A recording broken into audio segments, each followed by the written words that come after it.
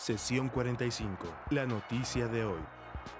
Improvisarán una escena a partir de una nota periodística. En las notas periodísticas puedes encontrar hechos y acontecimientos en los que se representan distintas emociones y sentimientos, además de conflictos humanos. Por ello, son una rica fuente de historias y personajes que puedes interpretar de manera libre y espontánea mediante la improvisación. Estamos bien, los 33 en el refugio, que están vivos, que están unidos que están esperando volver a ver la luz del sol y abrazar a sus familiares.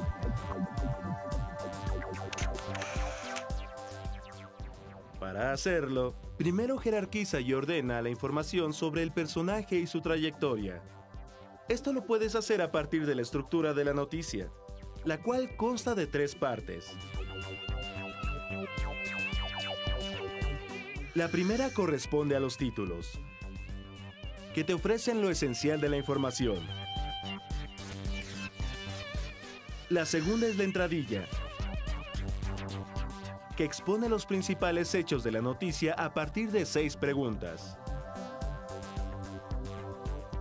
¿A quién le sucedió? ¿Qué sucedió? ¿Cuándo sucedió?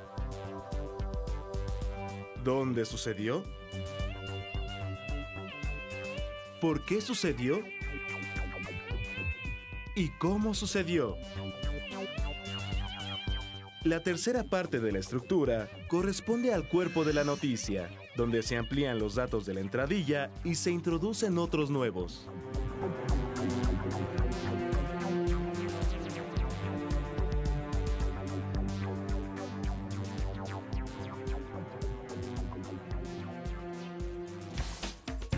La información que obtengas te ayudará a construir la situación e imaginar las características del personaje, como su estatus social, edad y forma de hablar, que puedes desarrollar mediante una improvisación.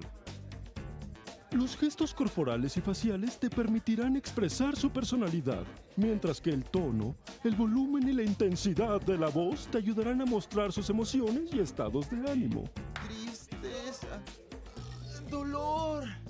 Alegría.